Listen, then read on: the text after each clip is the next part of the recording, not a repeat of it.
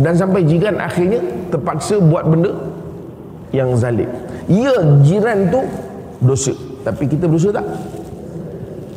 Kau penyebab Assalamualaikum warahmatullahi wabarakatuh. Jumpa lagi dengan saya guys Cak Mujib. Gimana kabar teman-teman semua? Semoga sehat selalu dalam lindungan Allah Subhanahu Taala Dijauhkan dari segala mara bahaya Malapetaka bencana dan balak Serta berbagai macam penyakit. Amin amin ya rabbal alamin. Alright guys Kali ini kita akan mengaji kembali ya Dari channel kuliah ilmu teman-teman. Jangan lupa like, share, komen dan subscribe-nya. Linknya ada di deskripsi ya guys ya. Dan di sini kita akan mengaji bersama Ustadz Haryanto Rizal. Oke, ini baru bagi saya ustadznya ya teman-teman sekalian. Dan yang dibahas adalah ramai yang memelihara kucing tapi mendapatkan dosa. Oh, sangat berat sekali ini guys. Padahal saya memelihara kucing dan mungkin banyak daripada teman-teman sekalian itu memelihara kucing ataupun istilahnya mengadopsi kucing seperti itu. Wah, kita dapat dosa. Dosa apakah ini guys ya? Kita harus tahu supaya kita tidak mendapatkan dosa ini ya guys ya. Jom kita tengok videonya. Let's go. Itu saya kata tuan-tuan. Dia ada satu ayat tu tuan-tuan. Saya jumpa baru ini. Arabnya ada lagi lah. Uh, Allahumma salli mana ayat dia tu? Allahumma salli ala sayyidina dalam satu artikel lah itu sebenarnya saya baca. Bagus dia dia dia angkat nas tu. Hmm. aywa tuan-tuan. Allah Ta'ala sebut tuan-tuan ni. Ya, Allah Ta'ala sebut dalam Quran. Ini orang yang mati. Ya, Allah sebut tentang orang yang mati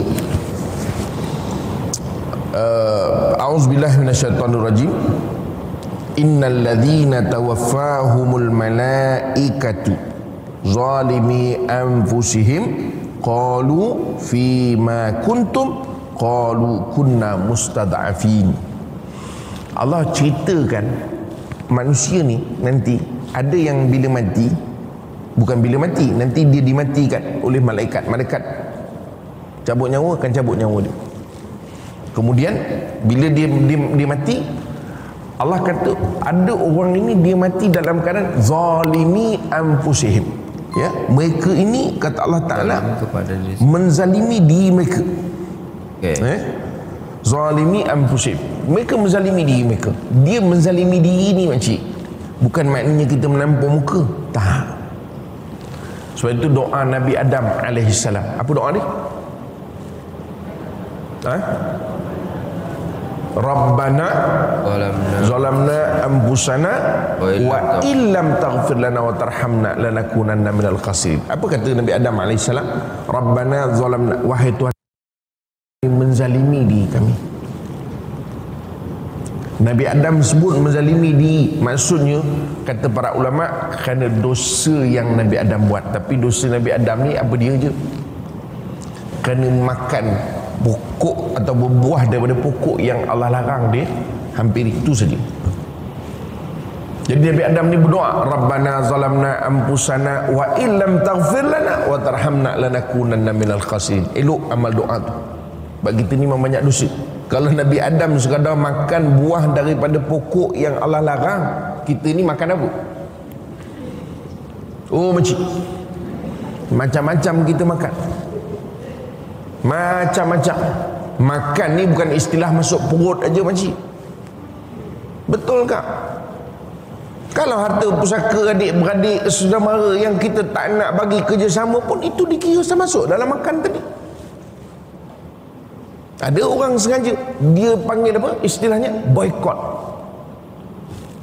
Tujuannya supaya gagal dia nak menguruskan soal harta pusaka. Tuan-tuan ingat senang ke? Saya menguruskan tuan arwah datuk saya punya apa nama tanah 3, 17 tahun baru selesai minggu, dua minggu sudah Allah 17 tahun oh, tu pun bisa. tak selesai habis lagi Ada satu title lagi yang itu memang kita holkan tinggal tepi. Pasal lawyer pun cakap Ustaz tak payah jalan dulu Ustaz. Ini complicated. Kenapa? Kita jumpa dengan waris-waris yang ada dekat dalam nama tu. Bila kita tanya, ah tak tahulah, itu lantak dia lah. Bila dia kata tu lantak dia, yang terkesan siapa?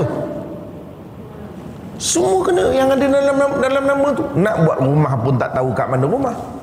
Sebab bila duduk dalam dalam geran ni semua katakanlah geran tu besar masjid ni semua ada bahagian 1 per 8, 1 per 6, 1 per 7, 1 per 20 contohnya. Tapi kat mana 1 per 8 tu? Kak, saya pesankan gitu. Kalau Nabi Adam baca ayat itu kerana sekadar temakan kerana saya kata guna temakan kerana hasutan syaitan memang syaitan nak menghasut betul nak menggagalkan Nabi Adam AS bukan soal nak menyalahkan syaitan tak. Memang syaitan diberdendam suruh. Aku akan jahannam kan? Itu pun Nabi Adam berdoa kita ni itu belum lagi kita. Masalah kucing kita tak habis-habis lagi tak habis lagi. Tak habis masalah kucing kita. Berak kat rumah orang. Jangka kucing sendiri bela sendiri sudahlah. Beraklah kat rumah sendiri. Pakaikan pampers kucing tu. Tak kita kita kita kita menzalimi orang lain. Allah ada orang sampai tahap dia terajang ni kucing. Zalim orang ni ustaz zalim. Oh kak. Kucing siapa? Kak. Kucing siapa? Kucing kita kan? Kucing kita tu dek kerana kita tak jaga betul akhirnya dia pergi ke rumah jiran dan sampai jiran akhirnya terpaksa buat benda yang zalim. Ya jiran tu dosa tapi kita berdosa tak? Kau penyebab Kalau kucing tu tak ada kat rumah kau Jiran tu pun tak jadi Menzalimi binatang. Jangan ingat lepas besok. Kita besok Aku kan claim ke akhirat besok. Cik. Kan? Dia nak claim kat jiran sebelah. Dia tak tahu kucing tu dah sebelum mati Dah niat nak claim dulu. Lepas tu kena ingat. Tu doa tu baca. Rabbana zalamna anfusana wa illam taghfir lana wa tarhamna lanakunanna minal khasirin. Ha. Allahumma salli ala Sayyidina Muhammad. Okey. Memelihara kucing dapat dosa. Macam mana tu guys ya? Dari penjelasan ustaz tadi bahwasannya ketika kita ni memelihara kucing maka kita pelihara, pelihara kucing tu dengan baik. Jangan sampai istilahnya ada tetangga kita zalim kepada kucing kita sebab kita lengah macam tu, macam mungkin mencuri makan, terus lepas tu berak sembarangan ya. Lepas tu buang kencing sembarangan macam tu lah guys ya. Memang kita pun macam kalau kita tahu oh ini kucingnya ini ni ya kan? Terus habis itu dia lepas terus ke tempat kita lalu kita lihat dia itu berak di dekat tanaman kita lah lepas tu pipih lah dan lain sebagainya. Dan itu memang membuat kita tu jengkel ya kan? Membuat kita tu macam marah macam tu. Tapi kalau kita istilahnya pecinta kucing biasanya tak akan semarah itu. Kita akan memaklumi macam tu lah guys ya Ah, alamak. Kalau kucing dizalimi oleh manusia, dia akan nak minta pertanggungjawaban ya kan? Kerana Allah Maha Adil macam tu. Allahu Akbar, Allahu Akbar, la ilaha illallah, Allahu Akbar. Okey, macam tu ternyata guys ya. Hati-hatilah kita ni. Alhamdulillah saya kalau piara kucing ataupun bela kucing ni saya kandang. Dan biasa dalam satu minggu kita lepah macam tu. Tapi tidak boleh keluar daripada rumah. Sebab apa? Kalau keluar rumah hilang kucing saya. Macam tu. Dan juga ada kucing juga di dalam bilik macam tu guys. Saya buatkan bilik macam tu. Dia boleh kemana ke sini macam tu lah. Ha, Dia boleh happy makan macam tu. Dan Alhamdulillah macam pop dia kan? Ah tu tak bau kan? Berak kat situ pun tak bau lah macam tu. Sebab ada kita belikan yang pasir wangi lah macam tu dan makanan-makanan yang bagus macam tu lah guys ya.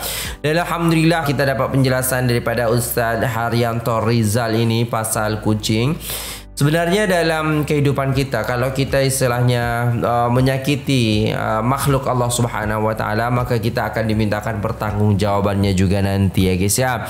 Nah, di sini kita akan baca komentar yang bagus sedikit ya guys ya di sini. Masya Allah ya. Jadi di sini haiwan peliharaan banyak dibiarkan berkeliaran karena tiada tempat berlindung untuk mereka dan tidak cukup diberi makan. Pemilik mesti menyediakan tempat khas untuk kucing tinggal dan membuang najis. Betul sekali ya. Operasi mereka supaya tidak terlalu membiak. Ha, beri rawatan jika sakit dan beri makan yang secukupnya. Jika tak mampu jangan pelihara kucing. Ha, itulah. Kalau tak mampu tak payah. Banyak haiwan yang dunianya karena orang lain marah dengan kehadiran kucing yang tak diundang dan membuat kotor dekat rumah orang ya. Kerajaan atau NGO juga boleh memainkan peranan untuk mengawal dan menyelarakan haiwan terbiar. Usaha kalian tentu akan dapat sokongan masyarakat. Jangan asyik menderma Palestin dan Syria tapi kucing anjing dalam negara sendiri tak terurus. Dirikan tempat perlindungan hewan salah satu terjawab PTB. Okey. Sebenarnya kalau di Malaysia tu ada kalau saya tengok daripada masyarakat sendiri ya kan di sana kucing tu macam ada tempat tersendiri lah macam tu. Saya saya saya salut sih sebenarnya. Kalau dekat Indonesia tu banyak shelter-shelter kucing ya teman-teman sekalian dari grup-grup yang ada di Facebook dan lain sebagainya itu juga banyak banget istilahnya pencinta kucing di situ dan ada shelternya seperti itu karena memang uh, terlalu banyak juga kucing jadi ya di tempat-tempat luar masih banyak juga. Tapi yang penting kita sebagai manusia harus istilahnya kalau kucing tu lapar kita bagi makan. Kasihan juga kan makhluk hidup nak makan. Macam kita kalau tak ada yang nak nak bagi makan ah macam mana tu kan? Kasihan. Jadi kalau kita istilahnya cinta kepada yang ada di bumi maka yang di langit akan cinta kepada kita. Kalau kita cinta cinta kepada saudara kita ya kan? Sesama muslim sesama manusia maka Allah Subhanahu wa taala dan malaikatnya akan cinta kepada kita. Begitu juga ketika kita cinta kepada hayawan ciptaan Allah makhluk-makhluk Allah yang di bumi maka insya-Allah kita juga akan mendapatkan cinta dari Allah dan para malaikatnya. Allahu akbar. Sangat indah sebenarnya kalau kita saling menyayangi dan saling mengasihi ya. Di sini ada juga bertuah kucing-kucing di negeri Turki. Oh iya betul, kucing Turki kalau kita tengok memang terbaik ya. yeah. Hidupan uh, bagai syurga. Kenapa manusia menganggap haiwan kucing adalah beban dan masalah dalam kehidupan orang yang kononnya Islam ya, tapi bencikan haiwan ciptaan makhluk Allah ini. Orang-orang Turki amat sayang kepada haiwan dengan kesayangan Nabi hingga dibuat taman syurga untuk kucing-kucing jalanan. Betul ya guys ya kalau kita tengok Rasulullah sallallahu alaihi wasallam cinta ya suka dengan kucing macam tu, macam Muza macam tu yang dikisahkan daripada hadis-hadis Nabi Muhammad sallallahu alaihi wasallam. Sampai Nabi Muhammad sallallahu alaihi wasallam itu merobek ya kain gamisnya ya seperti itulah atau bisa dikatakan sejadahnya seperti itu karena kucing itu sedang tidur ya. Dan Rasulullah SAW di dalam hadis juga ya ini banyak cerita yang sudah disampaikan. Jadi kucing itu suka dielus sama Rasulullah SAW ya dipangku oleh baginda Nabi Muhammad SAW dan istimewanya kucingnya Rasulullah SAW kalau azan dia tuh macam mengikuti macam tu guys ya. Masya Allah Allahu Akbar. Itulah ya guys ya kalau kita pelihara kucing ya karena kita ingin juga istilahnya merasakan bagaimana ketika Rasulullah Shallallahu Alaihi Wasallam itu memelihara kucing macam tu. Memang comel lucu ya kan? Tapi terkadang juga mengetes kesabaran kita seperti itu ya guys ya. Oke itu saja video kali ini. Terima kasih sudah tengok video ini sampai selesai. Apabila ada salah kata mohon dimaafkan. So gimana menurut teman-teman sekalian? Silahkan komen di bawah. Terima kasih. Assalamualaikum warahmatullahi wabarakatuh